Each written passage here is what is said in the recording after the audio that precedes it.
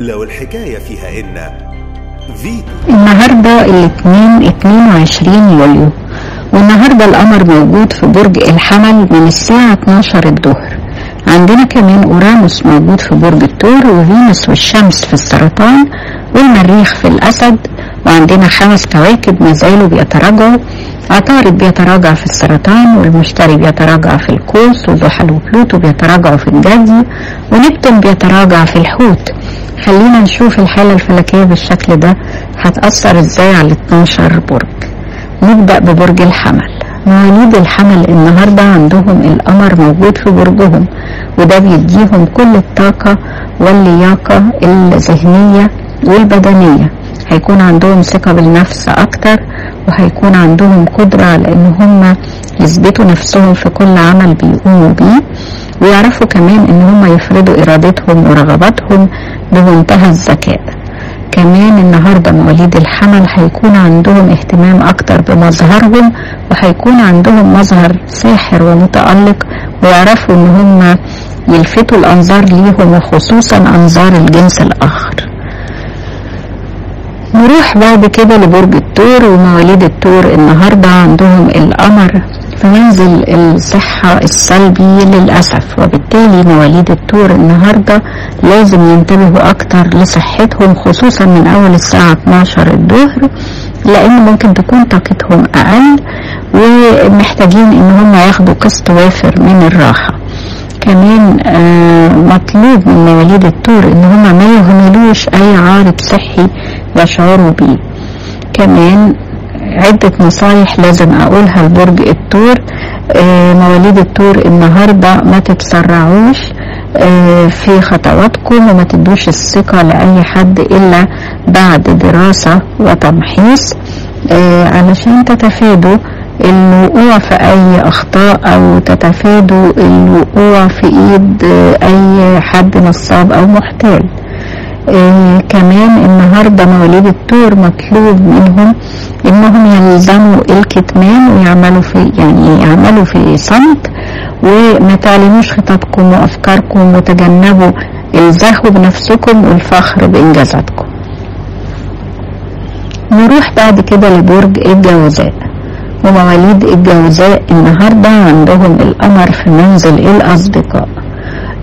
مواليد الجوزاء ممكن يكون عندهم النهاردة يوم هايل اجتماعيا ويقضوا أوقات حلوة تجمعهم بالأصحاب ومن السهل إن هم يحصلوا على نصايح مخلصة من أصحابهم. آه كمان على الصعيد آه المهني عندهم آه كل شيء ممكن يمشي بسهولة ويسر ومن السهل كمان إن هم يحصلوا على دعم زملاء العمل.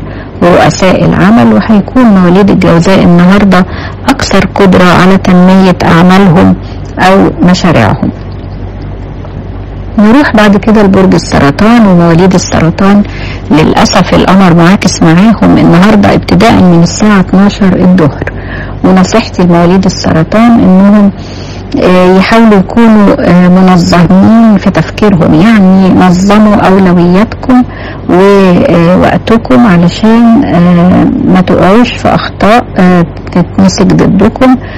كمان حاولوا إن أنتم ما تتصرفوش بعدائية أو بعصبية عشان برضو العصبية ممكن توقعكم في أخطاء. نروح بعد كده لبرج الأسد. مواليد الأسد النهاردة الحظ بيحالفهم جدا على كل الأصعدة. عندهم القمر في منزل الحظ وده بيدعمهم ماليا ومهنيا واجتماعيا. فبشوف إن النهاردة يوم ممكن يستمتعوا في بوقتهم مع كل اللي حواليهم. والحظ على كل الأصعدة زي ما بقول ممكن يحققوا مكاسب مالية ممكن يحققوا تطور في مجالهم المهني. خصوصا إن عندهم استعداد أكبر لتنمية معرفتهم ومعلوماتهم. كمان النهاردة يوم مناسب للأسد عشان يخططوا للسفر. أو يسعوا للسفر أو يقوموا برحلة فعلا. آه وكمان آه مهم آه للناس اللي بتتعامل مع جهات أجنبية إنهم يستفيدوا من النهاردة في توطيد صلاتهم بالجهات الأجنبية. نروح بعد كده لبرج العذراء.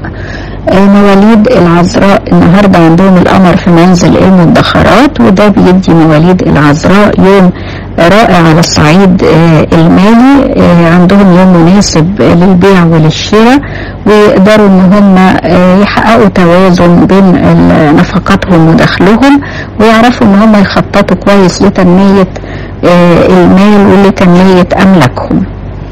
نروح بعد كده لبرج الميزان ومواليد الميزان. النهاردة عندهم القمر للأسف في مواجهة برجهم ابتداء من الساعة 12 الظهر.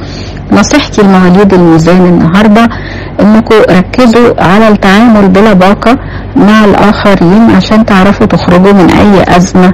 ممكن تقابلكم حاولوا آه، تتحكموا في عصبيتكم وما تتسرعوش في ردود أفعالكم آه، خصوصا مع شركاء الحياة ده لو أنتم متجوزين وكمان مع شركاء العمل.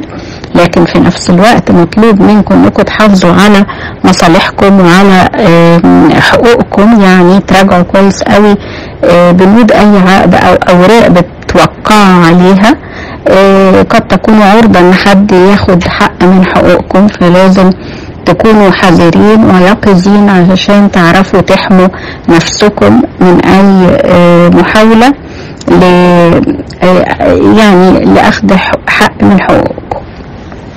نروح بعد كده لبرج العقرب ومواليد العقرب. النهارده عندهم القمر في منزل العمل الإيجابي وفي منزل الصحة الإيجابي وده بيدي مواليد العقرب آه، طاقة ونشاط وحيوية ومواليد العقرب يقدروا إن هم يديروا أمورهم الحياتية بذكاء ويعرفوا إن هم ينجزوا يرتبوا وقتهم وأولوياتهم ويوجهوا جهودهم في الاتجاه السليم.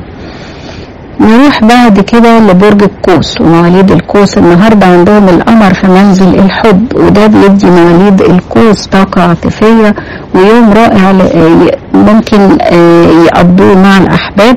يعني عندهم أوقات حلوة ممكن تجمعهم بالأحباب. أما على الصعيد المهني فمواليد القوس عندهم آه، إثبات لوجودهم في كل عمل بيقوموا بيه ويعرفوا إن هم آه، يعني يحطوا رجلهم على الطريق الصح.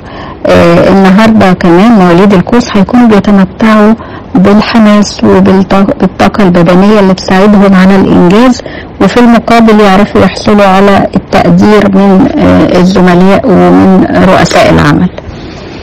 نروح بعد كده لبرج الجدي ومواليد الجدي النهارده.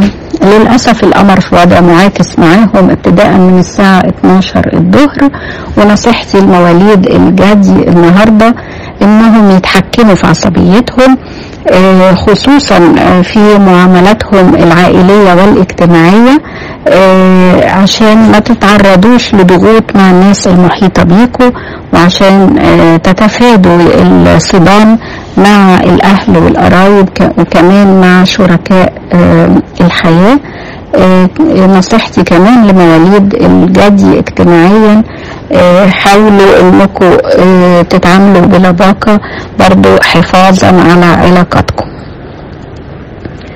نروح بعد كده لبرج الدلو مواليد الدلو. النهارده عندهم القمر في منزل العلاقات ابتداء من الساعة 12 الظهر وده بيدي مواليد الدلو. آه، وأوقات رائعة ممكن تجمعهم آه، بكل اللي حواليهم آه، مهنيا واجتماعيا وعائليا. آه، وكمان آه، يعني ممكن يبقى عاطفيا. آه، بس عموما هيكون عند الدلو علاقات ممتعة وعلاقات مفيدة وعندهم كمان النهاردة وبكرة آه، أوقات حلوة إنهم يعملوا مش يعني النهارده وبكرة وبعد عندهم ثلاث أيام أوقات مناسبة جدا لعمل interview في شغل. فعندهم يقظة ذهنية وعندهم قدرة على التفاوض وقدرة على الإقناع. كل ده هيساعد مواليد الدلو لو عاوزين يعملوا interview أو يقنعوا حد بفكرة أو يطالبوا بشيء. فعندهم ثلاث أيام هايلين. آم، النهارده وبكرة وبعده تقدروا انكم تطالبوا باللي أنتوا عاوزينه أو تبرزوا مواهبكم في انترفيو أو تقنعوا حد بفكرة أنتوا عاوزينها. نروح بعد كده لبرج الحوت ومواليد الحوت عندهم النهارده القمر في منزل المال ابتداء من الساعة 12 الظهر نصيحتي لمواليد الحوت استفيدوا النهارده في إنكم آه، تنظموا آه، أموركم المالية تقدروا تحققوا مكاسب كمان بس بشروط الشرط إنكم آه، تعتنوا بحساباتكم وتركزوا علشان أنتم ممكن تكون تركيزكم أقل النهارده وده ممكن يوقعكم في أخطاء فلازم تراجعوا كل خطوة آه، قبل ما تنفذوها عشان تتأكدوا إنها خطوة مظبوطة وبكده تقدروا تحققوا مكاسب إن شاء الله هايلة